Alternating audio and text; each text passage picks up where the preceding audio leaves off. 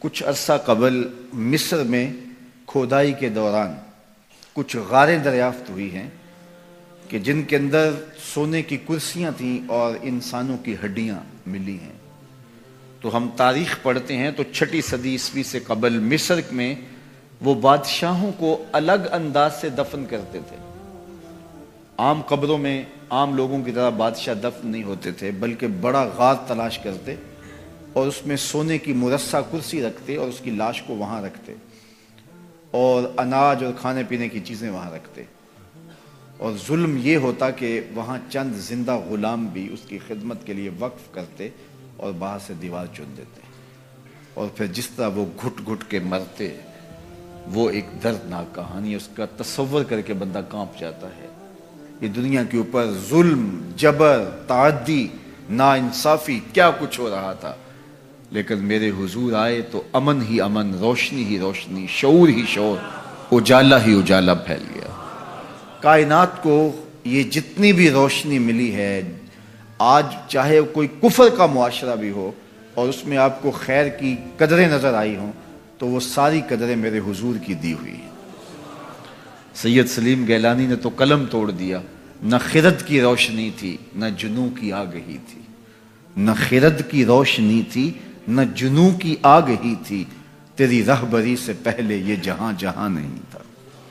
تیری رہبری سے پہلے یہ جہاں جہاں نہیں تھا۔ تیرے آستان سے پہلے کوئی آستان نہیں تھا۔ میں وہ زمین تھی جس کا کوئی آسمان نہیں تھا۔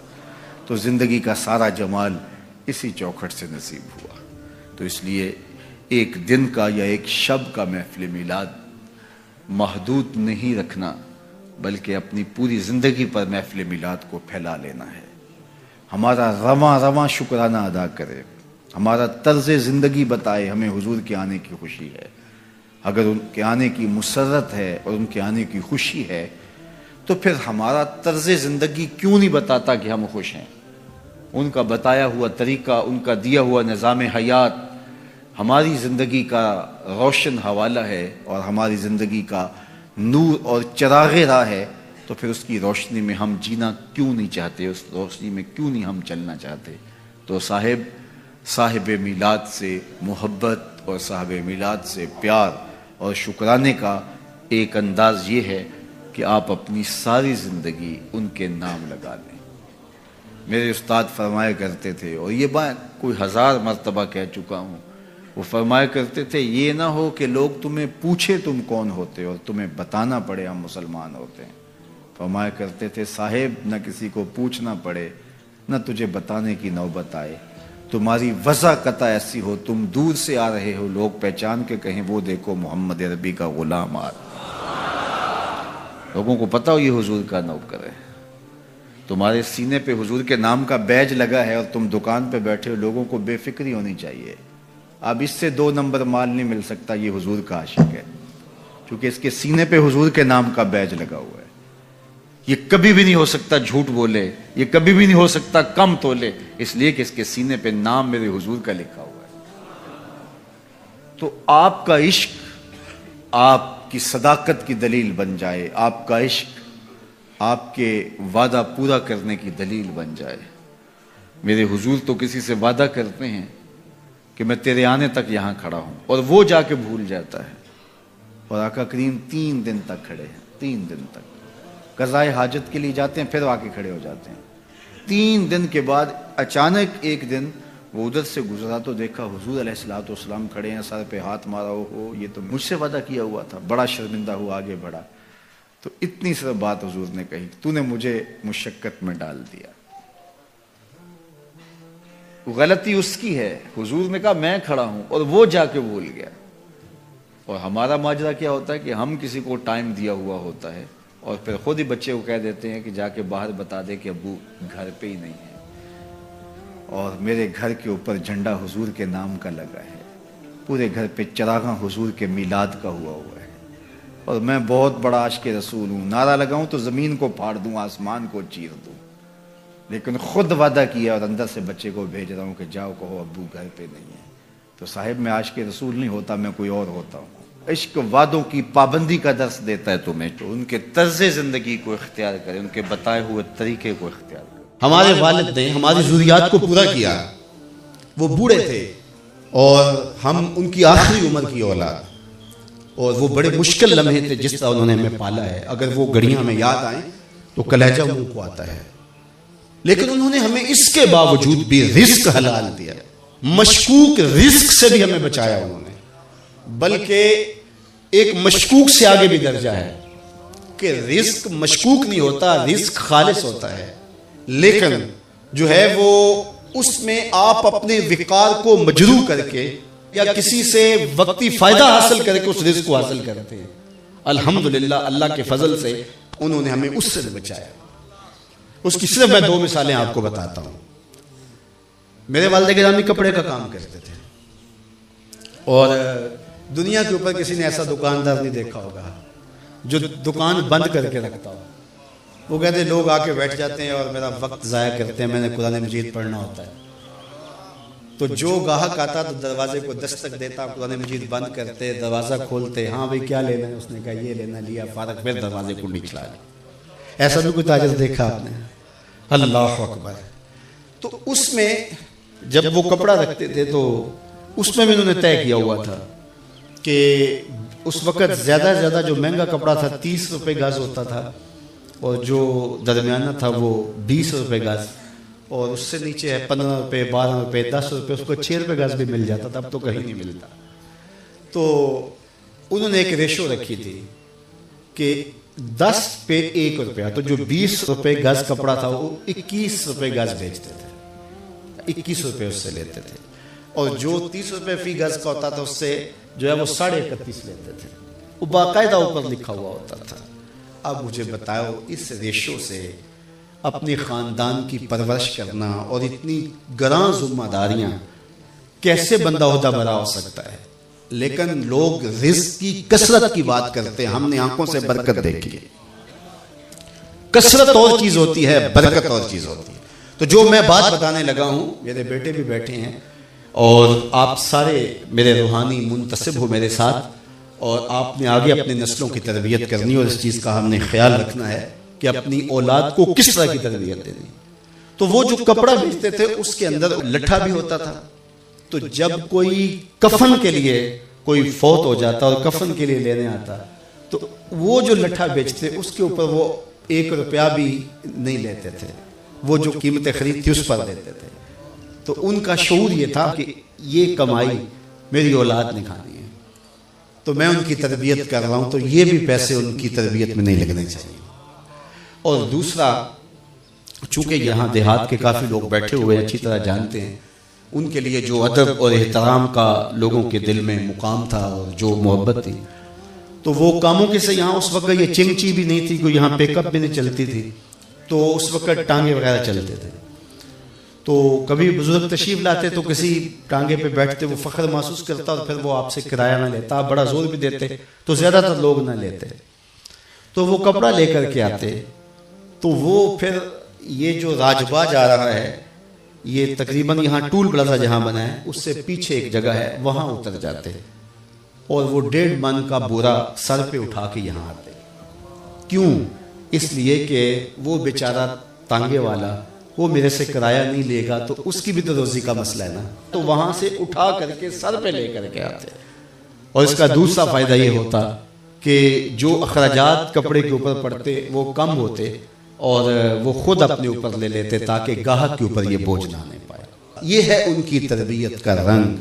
تو یہ بات ذہن میں رکھیے گا کہ اپنی اولاد کے لیے، سال رزق کے لیے کوشاں رہنا اور اس کے لیے محنت کرنا اور شوری جد و جہد اور شوری محنت میں لگے رہنا۔ اللہ تعالیٰ کی توفیق سے انہوں نے ہماری جو سال تربیت کی، آج اس کا نتیجہ آپ کے سامنے ہے کہ یہ پورے ملک میں، پوری دنیا میں جو فیضان اور جو نور کتاب رحمت کا پھیلا ہے، یہ ان کا دیا ہوا سبق ہے جو ہم نے کوشش کی کہ اس کو یاد کریں اور پھر اس کو لوگوں تک پہنچائے۔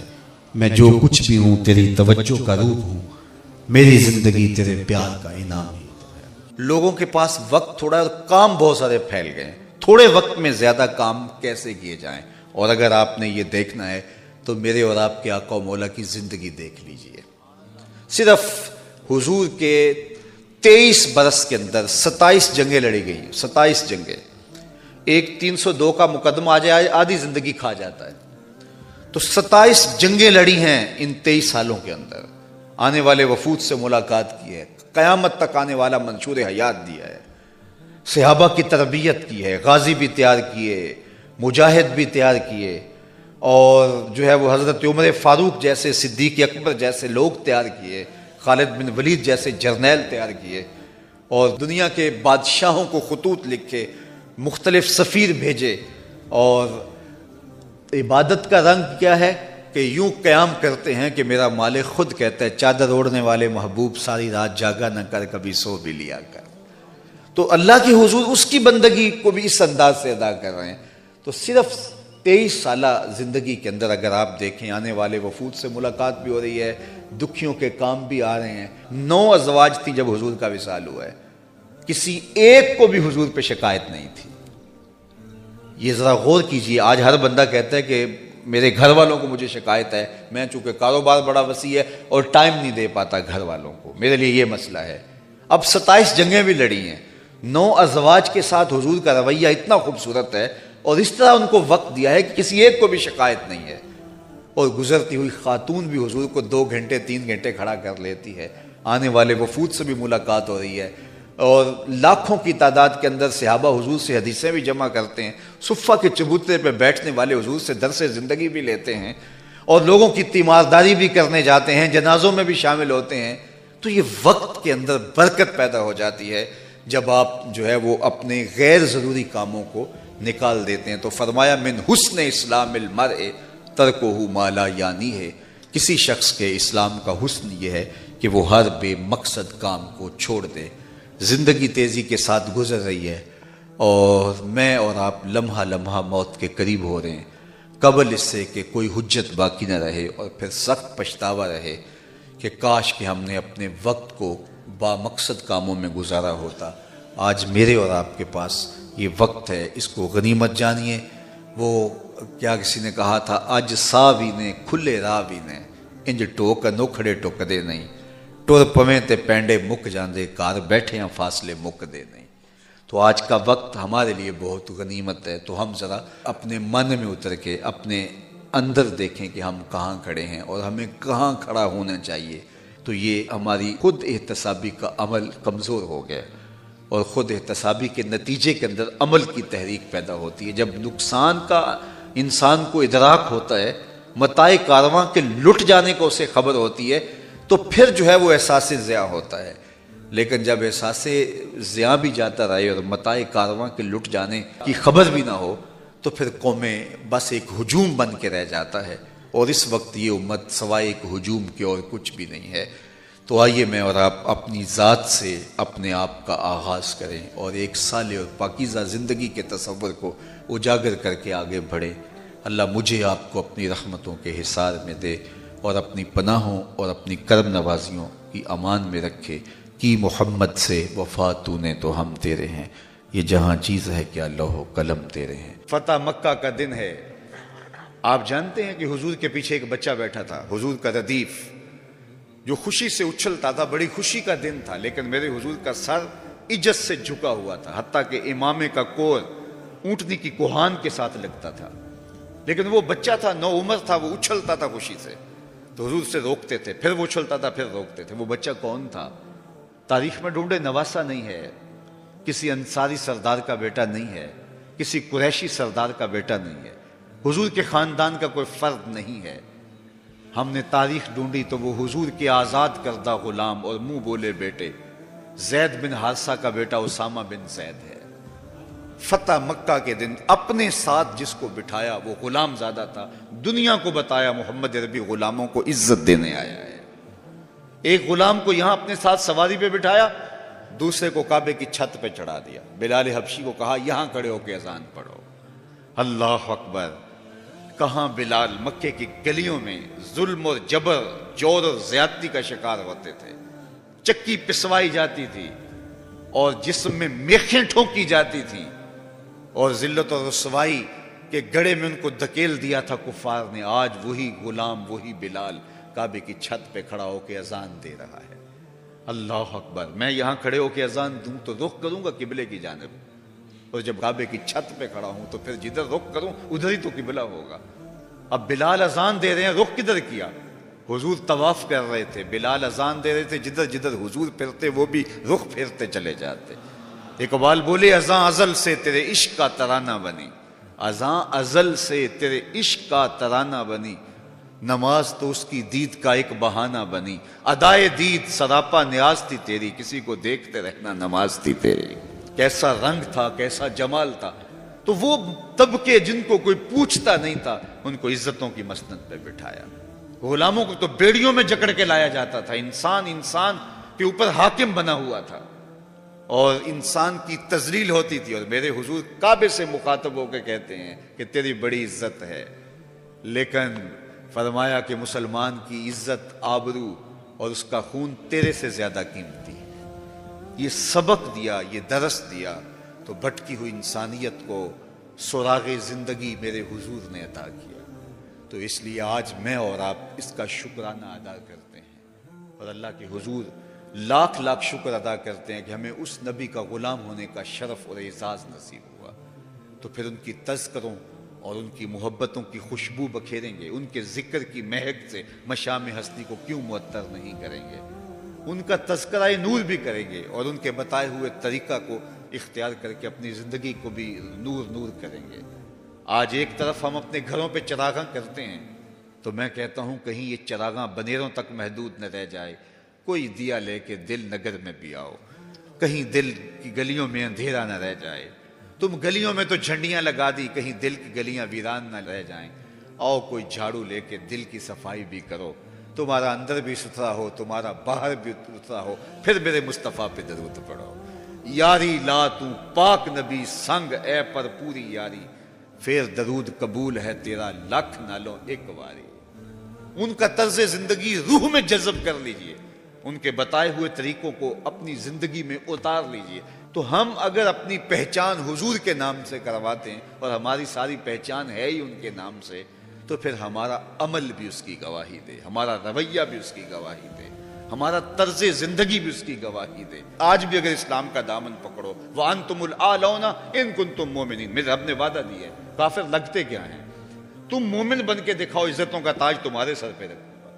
لیکن تم تن آسان ہو، تم خواہشات کے بندے بن گئے ہو، آرزوؤں کے غلام بن گئے ہو اور نعمتیں وہ مانگتے ہو جو بدر اور عہد کے صحابہ کو عطا کی گئی، کہاں کیسے تمہیں وہ نعمتیں ملیں گی؟ پہلے اپنے آپ کو ثابت تو کرو کہ ہم ان کے اہل ہیں، اور جب اپنی اہلیت ثابت کرو گے تو رحمت کی برکھا برسے گی، اور اتنا کرم ہوگا کہ تمہارے دامن تنگ نظر آئیں گے اور تم برستے پھولوں کو سمیٹ نہیں پاؤ گے۔ لیکن افسوس کہ تم طلب وہ کرتے ہو۔ وہ ایک بڑا معروف جملہ ہے کہ لوگ جو ہے وہ زندگی یزید کی جینا چاہتے ہیں اور موت حسین کی مانگتے ہیں۔ صاحب، ایسا نہیں ہوتا۔ اگر حسین ابن علی جیسی زندگی گزاریں گے تو پھر ان کے مراتب رفیہ کا حصہ نصیب ہوگا۔ لیکن اگر ہم اپنی خواہشات کی زندگی گزاریں گے اور کہیں گے کہ ہم چونکہ مسلمان ہوتے ہیں، لہذا ساری نعمتیں ہمیں دی جائیں۔ ہم جھوٹے ہیں، ہم مکار ہیں، ہم دو نمبر مال بیچتے ہیں۔ ہم جو چاہیں کریں، ہم وعدہ خلافی کریں۔ لیکن ساری عزتیں ہماری جھولی میں ہونی چاہیے۔ مسلمان جو ہوتے ہیں لیکن ایسا نہیں ہوتا۔ اس کا وعدہ ہے، تم مسلمان عملاً بن کے دکھاؤ، عزتوں کا تاج تمہارے قدموں تلے ہوگا۔ یار، آج تو تم ایک ارب چالیس پچاس کروڑ ہو۔ وہ زمانہ بھی تھا جب تمہاری تعداد صرف تین سو تیرہ تھی اور تمہارے پاس تلواریں بھی ٹوٹی ہوئی تھی لیکن ہم نے تمہیں وہ عزتوں کی مسند دی کہ زمانہ تمہارے اوپر رش کرتا تھا۔ تو آج اگر تم اس کے ہو کے دکھاؤ اور اس کے بن کے دکھاؤ تو میں تمہیں عزتوں کے تاج پہنا دوں گا۔ حضور کی محبت کا رنگ ایسا ہے جو چڑھتا ہے تو پھر اترتا ہی نہیں اور رنگ ہیں جو ہے وہ آپ میلے ٹھیلے میں گئے، اس کے رنگ میں رنگے گئے، واپس آئے تو اپنے رنگ میں آ گئے۔ لیکن حضور کی محبت کا رنگ اگر چڑھ جائے تو یہ اتنا پکا رنگ ہے کہ پھر کبھی اترتا نہیں۔ میاں صاحب بولے، کچا رنگ للاری والا، تے چڑھدا، لیندا، ریندا، تے پکا رنگ میرے آقا والا، چڑھ جائے پھر نہیں لیندا۔ یہ رنگ روح کو چڑھ جائے تو پھر روح کے زنگ اتر جاتے ہیں اور من میں چراغاں ہو جاتا ہے تو آئیے اس رنگ کے اندر اپنے آپ کو رنگنے کی کوشش کریں، اپنے مزاج کو رنگنے کی کوشش کریں، اپنے ماحول کو، اپنے معاشرے کو اور اپنے خاندان کو اس رنگ میں رنگنے کی کوشش کریں۔ کثرت کے ساتھ درود و سلام کا ماحول پیدا کیجیے، اپنے گھروں میں، اپنے بچوں کو اس کا خوگر اور عادی بنائیے۔ آقا کریم علیہ السلاۃ والسلام پر درود پڑھنے کا مزاج پیدا ہو۔ چاہے دس منٹ کے لیے، لیکن ضرور اپنے گھروں میں محافل کا انعقاد کیجیے جس میں اپنے بچوں کو بٹھا کر کے حضور پر درود و سلام پڑھنے کا ماحول پیدا کریں۔ اسی طرح حضور کے بتائے ہوئے طریقے، یہ سیرت کی کتابیں بازار سے دستیاب ہوتی ہیں حضور خرید کے رکھیں اور اپنے بچوں کو ایک ایک دو دو باتیں روزانہ حضور کی سیرت پر سکھائیں۔ آپ نے سکولوں پہ چھوڑ دیا ہے بچوں کو اس وقت جو ادم مچا ہوا ہے ہمارے تعلیمی اداروں میں اللہ یاز باللہ وہاں سے وہ نسل کبھی بھی نہیں آپ کو ملے گی جو آپ چاہتے ہیں۔ آپ کو یہ ذمہ داریاں خود اپنے کندھوں پہ لینی پڑیں گی۔ اگر آپ ان پہ چھوڑ دیں گے کہ وہ سب کچھ سکھا کر کے بچوں کو تہذیب اور تمدن پڑھا کر کے جو ہے وہ بھیجیں گے، کبھی ایسا نہیں ہوگا۔ کورس لفظ سکھاتے ہیں، آدمی آدمی بناتے ہیں۔ یہ ماں باپ کی ذمہ داری ہے۔ کو انفسکم و اہلیکم نارا وقودها الناس والحجارہ۔ تو کبھی اس پہ نہ رہیں کہ ہم بڑے اچھے تعلیمی ادارے میں اپنے بچے کو داخل کروایا ہے تو وہ پتہ نہیں کیا بن کے آ جائے گا، وہ کچھ بھی بن کے نہیں آئے گا۔ تو یہ آپ کی اپنی ذمہ داری ہے بطور والد، اور بطور والدہ کہ اپنے بچوں کو خود حضور کی سیرت ایک ایک گھونٹ کر کے روز پلائیں۔ ماں اگر چاہے تو بچے کو گھونٹ گھونٹ کر کے حضور کی سیرت کا سارا جام پلا سکتی ہے۔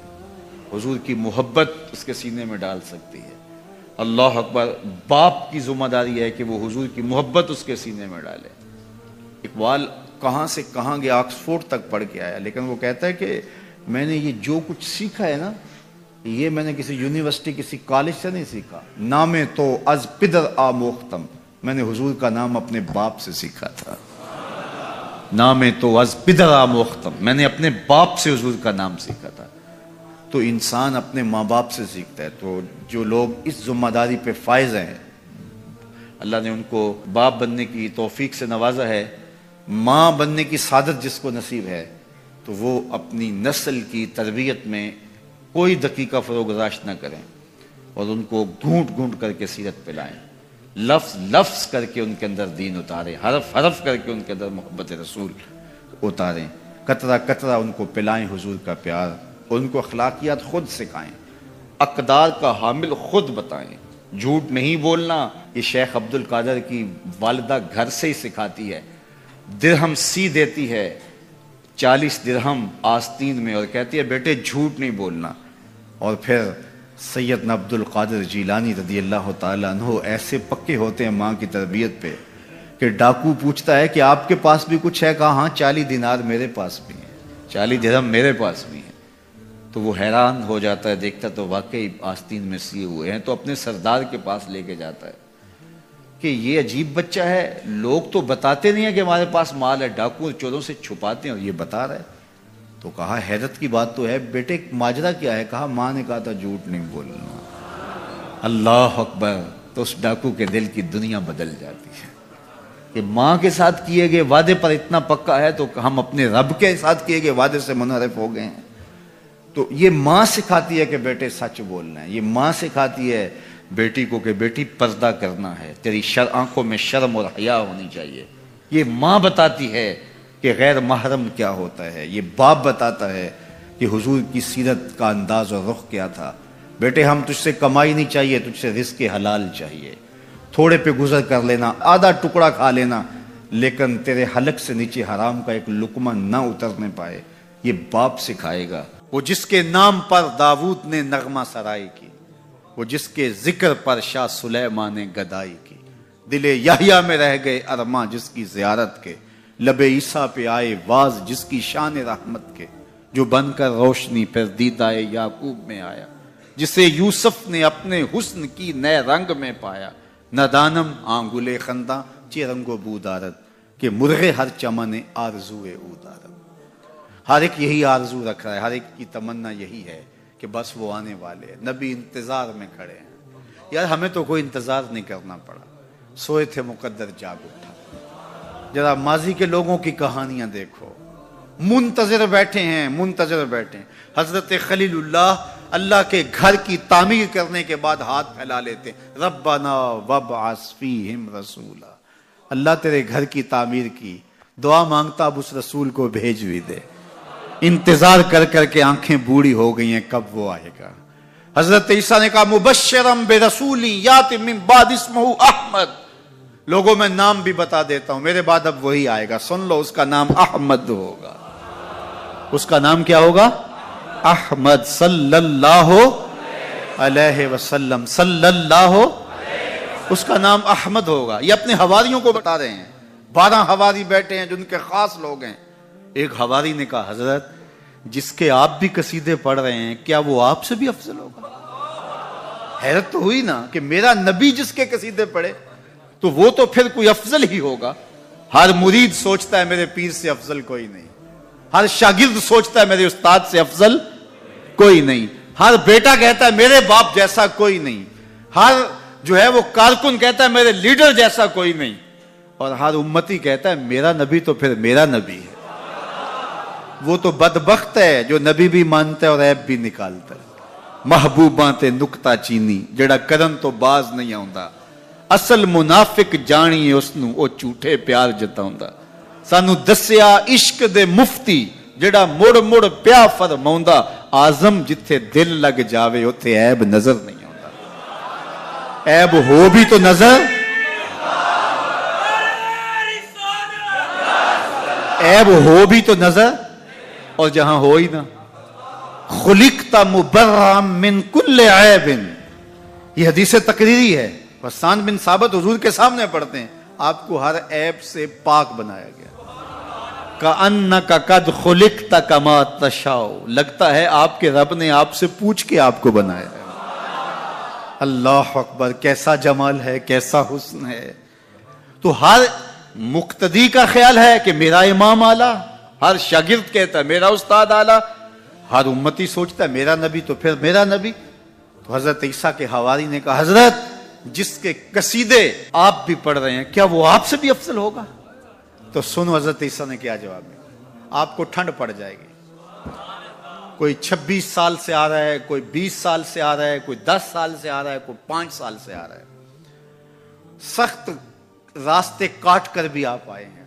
اور جو ہے وہ تین تین فٹ پانی گزر کے بھی آپ یہاں جمعہ پڑھنے آئے آپ کو سارے وقت یاد ہوں گے۔ لیکن یہ ایک جملہ آپ کی ساری تھکن اتار دے گا۔ سنو سنو، حضرت عیسیٰ نے کیا کہا؟ کہ حضرت، جس کے قصیدے آپ بھی پڑھتے ہیں، کیا وہ آپ سے بھی افضل ہوگا؟ تو حضرت عیسیٰ بولے، افضل ہونے کی بات کرتے ہو۔ وہ تو اتنی عظمتوں کا حامل ہے، اگر اس کے نالین کے تسمے کھولنے کی سعادت ابن مریم کو مل جائے تو یہ بھی مقدر کی بات ہے۔ یہ بھی بخت کی بات ہے کہ ان کے نالین کے تسمے کھولنے کی سعادت نصیب ہو جائے۔ وہ اتنا عظیم نبی ہے۔ مجھے بتاؤ، اس نبی کا ذکر نہ کروں، گلی گلی چراغا نہ کروں، گلی گلی ان کے تذکروں کی خوشبو نہ بکھیروں، گلی گلی ان کے نعرے نہ لگاؤں، ان کے نام کی مالا نہ جپوں، ان کے تذکروں کی خوشبو سے مست نہ ہو جاؤں۔ کائنات کے اندر جتنا چراغا ہے آمنا کے لال کے قدموں کا صدقہ ہے۔ ساری روشنیاں ان کے قدموں کے صدقے ہیں۔ اگر وہ نہ آتے تو آج اندھیرا ہی ہوتا۔ اقبال سے بھی پوچھ لیے۔ وہ کہتا، ہو نہ یہ پھول تو بل بل کا ترنم بھی نہ ہو۔ چمنے دہر میں کلیوں کا تبسم بھی نہ ہو۔ ہو نہ یہ ساقی تو پھر میں بھی نہ ہو، خم بھی نہ ہو۔ بز میں توحید بھی دنیا میں نہ ہو، تم بھی نہ ہو۔ خیمہ افلاق کا استادہ اسی نام سے ہے۔ نبز ہستی تب مادہ اسی نام سے ہے۔ ہم سجنا دے مار مکایا تے میں اتھرو بن کے ڈل گئی ایک مایا تیری یاد نہ پھل دی باقی ہر شے جگ دی بھول